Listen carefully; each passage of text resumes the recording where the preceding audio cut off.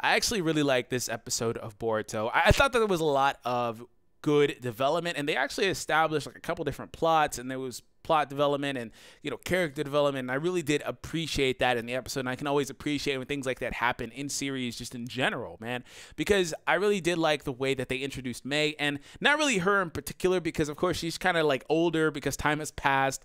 She's just chilling. She's just there. She's probably just the Hokage's or Hokage excuse me the Mizukage's advisor at this point and that's cool but what that speaks to is the biggest advantage Boruto has as a series, and that's you can always go back to these characters that you grew up with or you know you enjoyed from the previous series a la naruto and see hey well did this character accomplish their dreams? Did they do this or that? And you know not really her specifically, but it's nice to see those characters that were already at that higher level where they didn't really have a lot left to do, like she was as being the Mizukage, but also Chojuro, who is the new Mizukage. We already know that. We saw him a couple episodes ago. That's fine, but it's like, you know, you can really sit there and reminisce, hey, this guy was this way in Shippuden, wasn't so confident. You know, he's powerful, but didn't really know how to use it. And, you know, he's developed into what he is now. And I love stuff like that, man. I just I'm a sucker for that type of stuff. And that's what really stands out to me in this series. And eventually that'll probably wear old, but at least now I'm loving that. And in all honesty, uh speech was awesome. Even though it was dragging too long for Boruto and probably most people watching the show. But one thing I did want to point out about that was he said it was mainly directed at Yagura and or excuse me, Kagura, uh, because what happened there was he was like, "Hey, I want you to know that you have phenomenal potential, and I want you to be the one to pass this on to." Uh, and I assume that he meant being the Mizukage and possibly the sword, maybe not the sword. It is what it is. And I assume that he meant being the Mizukage because we know that Kagura, we find this out later in the episode. Every time I say Kagura, by the way, I want to say Yagura, so forgive me for that. Uh, we find out later in the episode that he is in contention for being the next Mizukage, by nature. You know, he's just one of the strongest people in the village, or he will become one. And it's weird because at this point, I was thinking, hey, maybe he'll become the Mizukage. But we don't know what could happen. You know, he could pass away. We don't know what could happen to this character between now and then. And God forbid a part like what four of Naruto where it's like, oh, Naruto is like some super OG son, old guy, and uh Boruto's the new dad and their kids. you know, God forbid that. But if that ever happens, you heard it here first, and we'll get to see if he does or does not become the new Mizukage. But um, you know, it was interesting at that point because you know uh Chojuro specifically says it, and it's like, well, what is it? We find out a little bit more about Kagura in this episode, and that's hey, this character actually is in contention for being one of the seven ninja swordsmen. And it's like, well, and they also explain that if you're automatically, if you're if you're that strong, you're automatically like kind of in contention as being one of the strongest people in the village and requisitely higher candidate choice for becoming the next Mizukage. So everything is laid for him already. And it's like, well, does that mean Chojuro won't last long with this new threat? What's happening, right? So we'll have to come back to that because this is quote unquote filler. Uh, somebody pointed out my last review that's probably good world building, and I agree. I agree with that sentiment, so I'll stick with that. But you know, we'll have to come back to that. And I do like seeing you know, the way that they've portrayed Kagura because immediately after that, we get some more explainer on him. It's like, well, he became a Chunin a few years ago and he's this powerful. And then he gets into this little mini brawl with Boruto, and it really isn't something to be taken seriously because Boruto was at a distinct disadvantage. He probably still would have lost.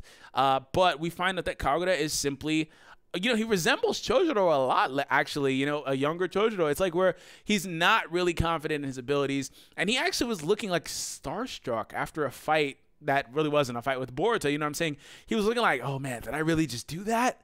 Oh man. It's like, and he also says, hey, I'm not somebody that can be you know the protector of this village i you know he says i'm not suited for that and it's like well clearly you are but maybe you just don't know it yet and i think that's very relatable for like a real world aspect. If you want to kind of look at it from a different perspective, I think it's relatable to say, hey, you know, I don't know if I can do this or that. And then you kind of grow into things. And that's something that we can relate to as human beings. So I really do like when they can do things like that in the show, man. And of course, it's still an anime. You don't want to take it like way too seriously, but you can kind of see the parallels in ways that we would you know, interact with that as human beings, and I did like that. So, anyways, we get into the explainers as to why Iwabe is so salty. He's been looking so salty in these episodes, man. And it turns out that his grandpa fought against Yagura Karatachi, and if the last name sounds familiar, if I simply didn't catch this previously because I'm still rewatching Shippuden, uh, I'm trying to get my Naruto knowledge up to the level of like Dragon Ball with me, uh, and it's like I'm trying to get into stuff like that. So if they pointed out his last name in the previous series, Yagura's, I didn't know and I didn't catch it, but last episode I was like, hey, in my last review, you know, there is a resemblance and it's, it's a glaring resemblance between Kagura and Yagura. And it's like, well, they even have a similar first name and they look so similar, so identical. And it turns out that they are some semblance of relatives. And we don't know based on the show. I haven't read the manga for Boruto yet. I plan to. I don't know if they explain that in there. I don't think so. Probably not. But we don't know how they're related because they don't outright explain it in this episode how Kagura and Yagura are related. I know that whenever Yagura was the Mizukage, he was a younger looking adult. So he was an adult. He was just he actually made it a point, if I recall correctly, to tell Naruto that he is an adult. So like he is a younger looking character, but he actually was a bit older. So maybe this is one of his sons. Time has passed, and they say that Kagura isn't that much older than Boruto and them is. So it's like maybe, or maybe this was like a younger brother or whatever the case is. But we'll probably get an explainer for that in the future. But I'm honestly invested in that because I really want to know. and then we get it introduced from there into Hachi. Oh, excuse me. Let me go back. Uh, Iwabe says, "Hey, my grandpa fought him, and he killed him. The, the previous Mizukage, uh, Yagura did, and he's like, I'm not gonna forgive you guys for that. And you guys act like so much has changed and really hasn't been that long. And in all honesty, Kagura himself says in the episode, Hey, it hasn't actually been that long. All this stuff wasn't here a few years ago. Chojuro was the one that kind of changed the economy. And it's like, well, he's a great Mizukage, but that means Iwabe is right." You know, not to say that the exact practices were happening a few years ago and there was just some sudden, sudden, uh, drastic change, right? But it, of course, would have been a, a, progressive thing. And of course, it still isn't fully completed because when we get introduced to Hachiya and, you know, we find out that he's a subordinate for Shizuma, it's like, well, there are still factions in this village that believe that it should still abide by the previous code of the Blood Mist Village. And it's like, well, okay, there's like kind of like a small undertaking there. I don't want to kind of read too deeply into that. And of course, we know that Shizuma will be the antagonizing force for this little mini arc thing that we're doing. But it's like, well, Iwabe is actually right. you know, it wasn't that long ago, and you guys still haven't changed. And then he's vindicated by getting by when they get, you know, uh, confronted by Hachiya. It's like, well, he's actually right, and I thought that was pretty interesting. And he, I don't really know necessarily if that means he gets to walk around all salty and grumpy, but you know, it's it's an interesting dichotomy with the character. So after that, Denki does wind up getting kidnapped, and it's like, bro, why are you out at night? Why are you out at night? Why are you walking the streets? I just felt like that was kind of dumb. I feel like most of the episode was well done, but I thought that was kind of dumb. It was forced. It was heavily plot induced. It was forced to give them a reason to go confront Shizuma.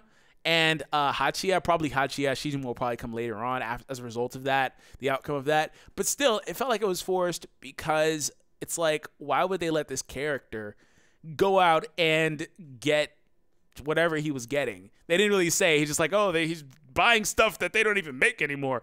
And of course, Denki is the type of character that will be a target. He just looks like the type of character that you would target. And then, you know what the stupidest part about that is? The guy walks down, I think it was like a shortcut, and that's fine if it's a shortcut. I'll have to rewatch that scene. But he literally walks down the one shaky aisle. It's like a, a shaky, like, uh, a pathway, or what's the word? Um, alley, alley. So he walks down the one alley with a shaky light bulb that's flickering and it's like all dark at the end. It's like, why? why? Why couldn't you just go the other way? Maybe they still would have got him, but it's like literally, bro, you just made the dumbest decision you could have made. And he winds up getting kidnapped, and that sets up the plot for the next episode. That's the only thing I didn't like about this episode. It is literally like the one like one and a half minutes of the episode. But it felt like the episode was really long because they did a lot of things in here. I tried to kind of like gloss over it, but they did a lot in the episode. And Boruto is steadily getting better to me. I feel like it'll uh, get a lot better. It has a lot of potential. So, anyways, hope you guys enjoyed this review. If you did, try to hit that like goal of 300 likes on this video. Subscribe for more content if you happen to be new. And that's it. I'll catch you guys in the next one. Peace out, guys.